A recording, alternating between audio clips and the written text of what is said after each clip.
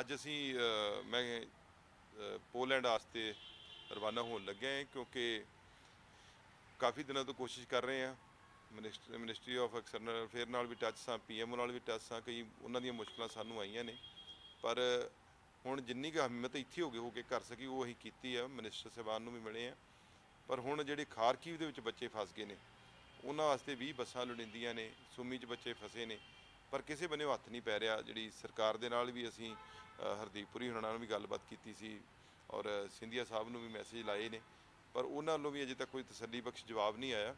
ਸੋ ਮੈਂ ਹੁਣ ਜਿਹੜੇ ਮੇਰੇ ਉੱਥੇ ਪੰਜਾਬੀ ਭਾਈਚਾਰਾ ਹੈ ਜਾਂ ਇੰਡੀਅਨ ਭਾਈਚਾਰਾ ਉਹਨਾਂ ਨਾਲ ਗੱਲਬਾਤ ਹੋਈ ਹੈ। ਗੱਲਬਾਤ ਕਾਫੀ ਦਿਨਾਂ ਦੀ ਚੱਲ ਰਹੀ ਹੈ। ਪਰ ਜਿਹੜੀ ਫੋਨ ਤੇ ਗੱਲਬਾਤ ਕਰ ਲੈਂਦੇ ਕਈ ਵਾਰੀ ਅਸੀਂ ਫੋਨ ਤੋਂ ਬਾਹਰ ਹੋ ਜਾਂਦੇ ਰੇਂਜ ਤੋਂ ਜਾਂ ਅਸੀਂ ਕਿਸੇ ਹੋਰ ਕੰਮ 'ਚ ਰੁੱਝ ਜਾਂਦੇ ਕਿਉਂਕਿ ਸਾਰਾ ਦਿਨ ਇੱਕ ਕੰਮ ਨਹੀਂ।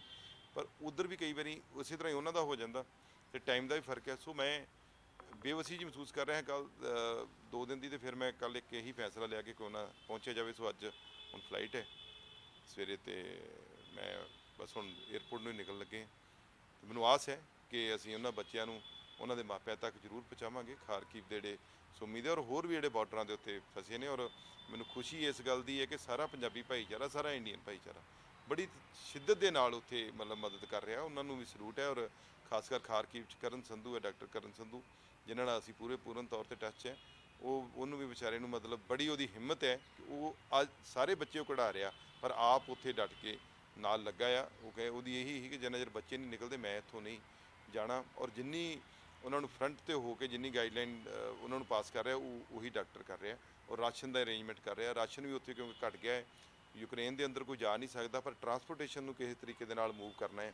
ਉਹਦੇ ਵਾਸਤੇ ਜਿਹੜੇ ਭਾਈਚਾਰਾ ਮੈਂ ਤੁਹਾਡੇ ਮਾਧਿਅਮ ਰਾਹੀਂ ਵੀ ਕਹਿਣਾ ਚਾਹੁੰਦਾ ਜਿੰਨੇ ਵੀ ਪੋਲੈਂਡ 'ਚ ਜਾਂ ਅ, ਯੂਰਪ 'ਚ ਹੀ ਕਹਿ ਦੂੰਗਾ ਕਿ ਜਿਹੜੇ ਬੰਦੇ ਉੱਥੇ ਵੱਸ ਰਹੇ ਨੇ ਯੂਕਰੇਨ ਤੋਂ ਕੋਈ ਟਰਾਂਸਪੋਰਟੇਸ਼ਨ ਦਾ ਪ੍ਰਬੰਧ ਜੇ ਸਾਡੀ ਮਦਦ ਕਰ ਸਕਦਾ ਹੋਵੇ ਐਮਬੈਸੀ ਰਾਹੀਂ ਪੇਮੈਂਟ ਦਾ ਵੀ ਹੋ ਜਾਏਗਾ ਕੋਈ ਮਸਲਾ ਨਹੀਂ।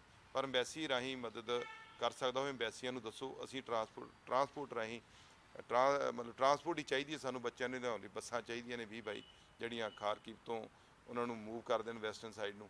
ਸੋ ਜਾਂ ਟ੍ਰੇਨ ਦੀ ਤੇ ਚਲੋ ਖੈਰ ਗੱਲ ਗਵਰਨਮੈਂਟ ਲੈਵਲ ਤੇ ਚੱਲ ਰਹੀ ਜੋ ਹੋ ਸਕਿਆ। ਪਰ ਜੇ ਕੋਈ ਸਮਝਦਾ ਹੋਵੇ ਕਿ ਉੱਥੇ ਕੋਈ ਮਦਦ ਕਰ ਸਕਦਾ, ਜੋ ਮੇਰੇ ਨਾਲ ਕਰ ਸਕਦਾ, ਮੇਰੇ ਨਾਲ ਕੰਟੈਕਟ ਕਰ ਲੇ, ਸਾਰੇ ਸੋਸ਼ਲ ਮੀਡੀਆ ਦੇ ਉੱਤੇ ਨੰਬਰ ਹੈਗੇ ਆ। ਜਾਂ ਜਿਹੜੇ ਉੱਥੇ ਲੋਕ ਜਿਹੜੇ ਤੁਹਾਡੇ ਭਾਈਚਾਰਾ ਵਸਦਾ ਉਹਨਾਂ ਨਾਲ ਕਰਕੇ, ਉਹਨਾਂ ਨੂੰ ਸਿਰਫ ਟਰਾਂਸਪੋਰਟੇਸ਼ਨ ਖਾਰਕੀਵ ਤੇ ਜਿਹੜਾ ਸੁਮੀ ਦੇ ਬੱਚੇ ਨੇ, ਉਹਨਾਂ ਵਾਸਤੇ ਵੱਡੀ ਐ ਇਸ ਵੇਲੇ ਸਾਡੇ ਵਾਸਤੇ ਵਿਪਤਾ, ਕਿ ਉਹ ਕਿਸ ਤਰੀਕੇ ਦੇ ਨਾਲ ਲੈ ਕੇ ਆਉਨੇ ਆ। ਉਹਨਾਂ ਵਾਸਤੇ ਚਿੰਤਾ ਦਾ ਵਿਸ਼ਾ ਸਾਰਿਆਂ ਲਈ ਬਣਿਆ ਹੋਇਆ, ਉਹਨਾਂ ਦੇ ਮਾਪਿਆਂ ਨੂੰ ਬਹੁਤ ਵੱਡਾ ਪਰੇਸ਼ਾਨੀ ਦਾ ਕਾਰਨ ਹੈ, ਉਹ ਬਾਰ-ਬਾਰ ਸਾਡੇ ਨਾਲ ਗੱਲ ਕਰਦੇ ਆ, ਪਰ ਸਾਡੇ ਕੋਲ ਤਸੱਲੀ ਹੀ ਅਸੀਂ ਦੇ ਸਕਦੇ ਆ। ਸੋ ਮੈਂ ਬੇਵਸੀ ਜੀ ਮਹਿਸੂਸ ਕਰਦਾ ਹਾਂ, ਸੋ ਮੈਂ ਅੱਜ ਹੁਣ ਪਹੁੰਚਾਂਗੇ ਔਰ ਉੱਥੇ ਜਾ ਕੇ ਵੇਖਦੇ ਹਾਂ ਕੀ ਹਾਲ ਚਾਲ ਹੈ, ਉਸ ਤੋਂ ਬਾਅਦ ਅੱਗੇ ਫਿਰ ਤੁਹਾਡੇ ਨਾਲ ਗੱਲਬਾਤ ਕਰਾਂਗੇ।